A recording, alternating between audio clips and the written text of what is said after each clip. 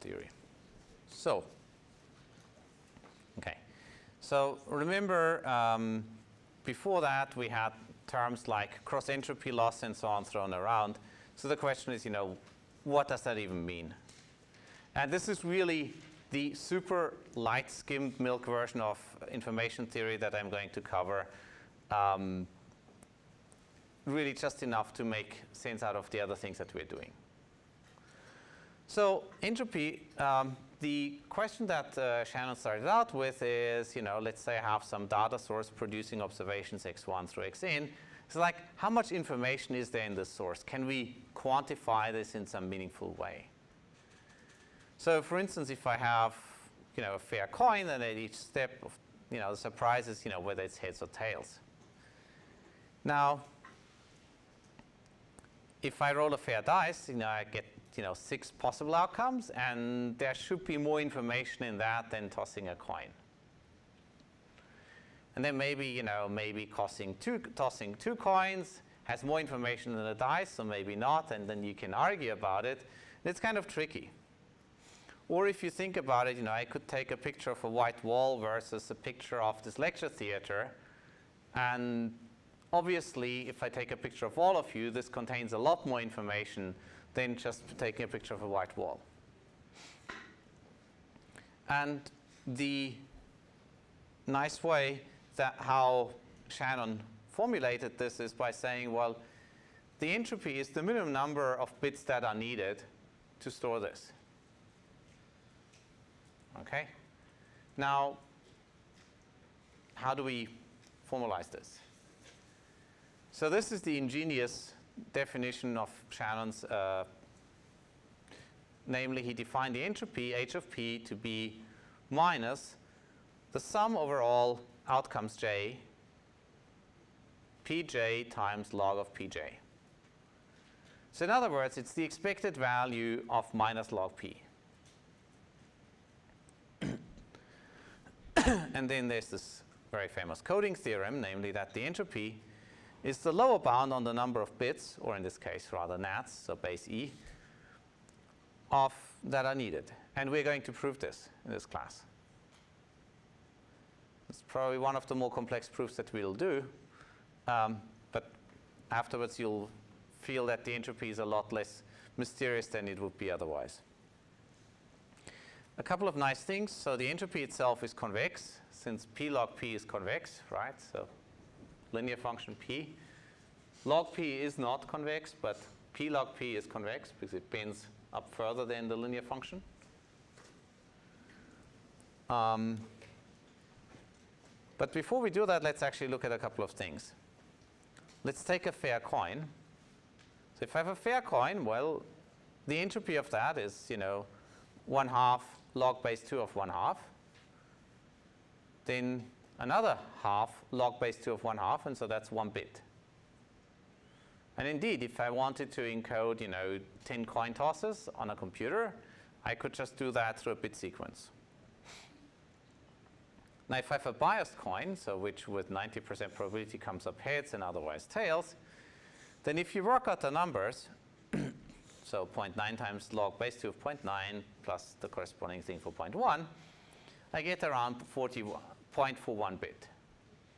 So you can already intuitively see that a coin that mostly spits out, let's say, tails, should be easier to store as a sequence than something that you know, will think, produce things at random. Now, if you've played Dungeons and Dragons, you know that, well, they don't muck around with regular dice. They use a 20-sided dice. And that 20-sided dice requires you to store around 4.3 bit. So there's a fair amount more information in each uh, roll of a dice than you would have in a standard coin toss. Okay. Um, in order to prove that theorem, we need to look a little bit at what prefix codes are and something called a Kraft inequality. Yes?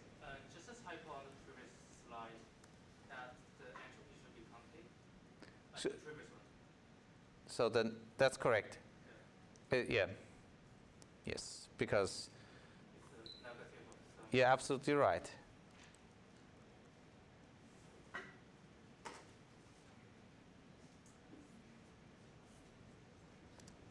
Thank you. So, now, let's look at something called the Kraft inequality. So there's a code, so codes are so-called prefix codes if I can map every symbol into, you know, a code, let's say, you know, zeros and ones, with some length L of x, and where no sequence is a prefix of another code word. So for instance, I couldn't have as one code word dog and as another word, code word doghouse. That wouldn't work. Because dog would be a prefix to doghouse. And prefix codes are very nice because they're very nice to decode. I just, you know, go and look things up and then, you know, I find something and then, you know, I go and pick the next term. And, well, so for instance, you know, I can, if I look at the first terms, well, that's not, not a prefix code, right? Because the code for A would be a prefix for B, the code for B would be a prefix for C, the code for C would be a prefix for D. So that's pretty bad. On the other hand, on the right-hand side, I encode A as a 0. So now the only option that I have left is that I pick for B 1 and then 0. And OK, in that case, I burn up the 1, 0 as well. So I, I can only do a 1, 1, then maybe 0, and then D, I'm just left with 1, 1. Okay. So that would be a prefix code. Now here's a really cool inequality, the so-called Kraft inequality, which says that if and only if, you know, we have a prefix code, then the following holds. 1 is greater or equal than the sum over all x's of 2 to the minus the length of that code. Okay. So this is a pretty powerful inequality. So, and to prove it, it's actually not that hard.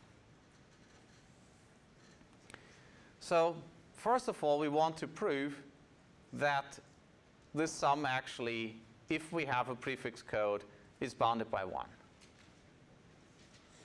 So what we can do is we can just look at all the collisions. So basically I go and generate a random string, and I look at the probability that this random string actually happens to be a code word. Now, if I sum over all those probabilities, right, that has to be bounded by 1 because I can only hit at most one code word. So 1 is greater or equal than the probability of collision with some code word. So I can therefore sum over the probability that x is actually a hit. So only one of them is going to be active at any time.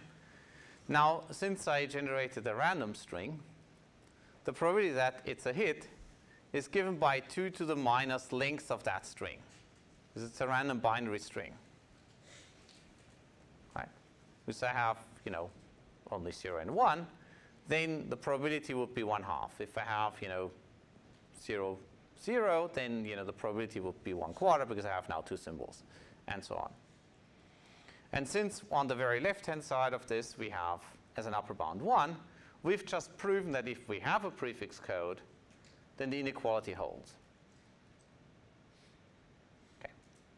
Now comes the harder bit to prove that if the inequality holds, then we can actually engineer prefix code. And this is about the simplest proof I can come up with there are lots of other slightly more elaborate proofs. Um, for instance, actually Wikipedia has one, but that may not be the simplest one. Anyway, this is the simplest I could come up with. So we're actually going to construct the prefix code explicitly recursively. so what I'm going to do is I'm going to pick the set of x which have the shortest sequence, well, which have the smallest L of, L of x.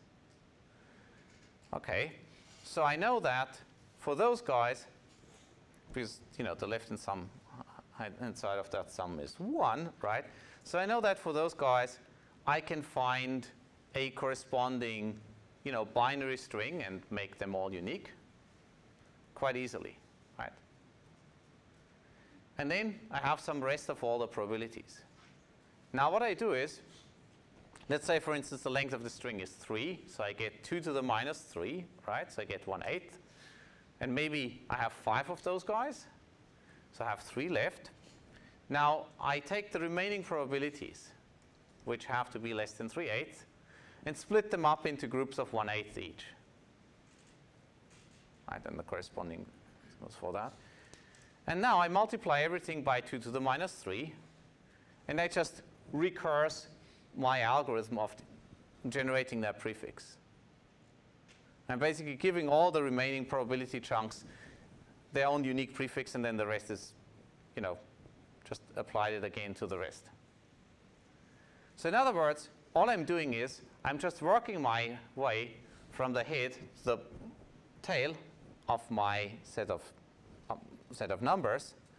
And whenever I find the next shortest term, I generate the prefix and then you know, apply the same mechanism to the subsets again. And so this way, at some point, I'll run out of things that I need to encode. And since at every time I didn't exhaust my entire budget of summing up to 1, I'm done. It's only one tiny little problem if I have an infinite number of symbols, and this proof doesn't work for an infinite number of symbols. But for a finite one, it will. Okay. So why do we need all of this? Well, actually for a very simple reason. because now we are going to prove the coding theorem with it. Namely that the entropy is a lower bound on the number of bits. And I think that's pretty much where we'll end. The first thing is we're going to generate the prefix code with length, L of x, is the ceil of log, well, of minus log base 2 of p of x. So I take the binary logarithm of the probability for every event, and I just round up to the next integer. Now, e to the minus that has to sum up to, well, sorry, 2 to the minus that, sum over all the strings has to sum up to less, less equal than 1, because all I've done is, otherwise, if I have 2 to the log, you know, that's just the sum of the over. Let me, let me write it out, it's easier to explain.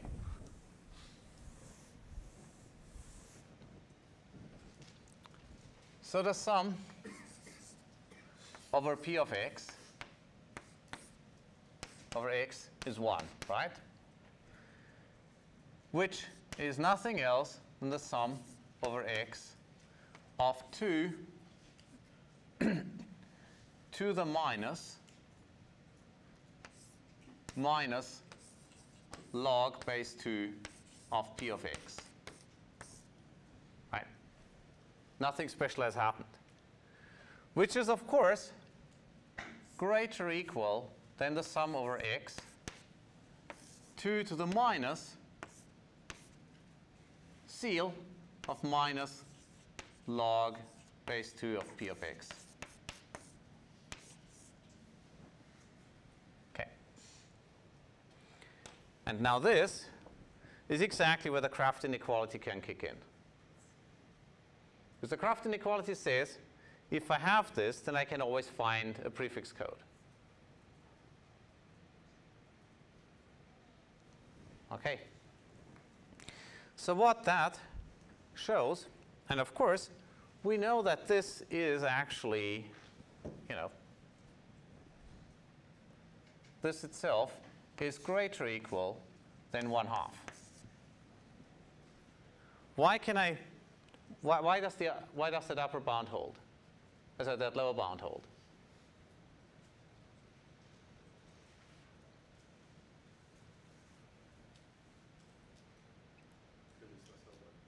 It's, yes, so what happened is if I go from minus log p of x to ceil of log of minus log of p of x, then those two numbers will never differ by more than 1, right? Because I just round to the next integer. Now if I round to the next integer, well, the discrepancy can be not no more than 1 half. So this number can never be less than 1 half that number. And since that holds, and I know that this is 1, this has to be 1 half. So that's what it means by saying, well, this is within one bit of the optimal code, right? Because the theorem claims that, you know, it's exactly, you know, log base 2 of pj, not the next integer up, right? Okay. Now, how do we go from, you know, log base 2 of pj to making this work exactly? Well, what we can do is we can just combine the data into k tuples, right? So that will drive all the probabilities down to something much smaller.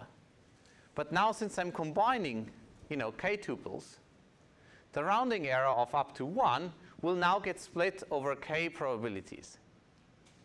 So that drives my rounding error to 1 over k rather than 1. If I make those k tuples long enough, then everything works out fine. now, the optimality of that, uh, that there is no better code goes with, through Kullback-Leibler divergence, and we'll do that on Thursday. Just one quick aside. So you might think, well, this is actually really nice, right? I mean, so coding theory is, is easy, right? So why don't we have optimal codes, right? Because after all, you know, I could just go and design some encoding algorithm. Well, the problem is that in order to make things work really well, I need very long sequences. And very long sequences make for very expensive decoders. And that's where, for instance, turbo codes come in. So if at some point you want to take an, a graduate level information theory class, they'll cover turbo codes and low density parity codes and all of that in a lot more detail. Okay, so thanks for it today. The homework will be up later tonight, including the solutions for two weeks ago. Okay, good luck. See you on Thursday.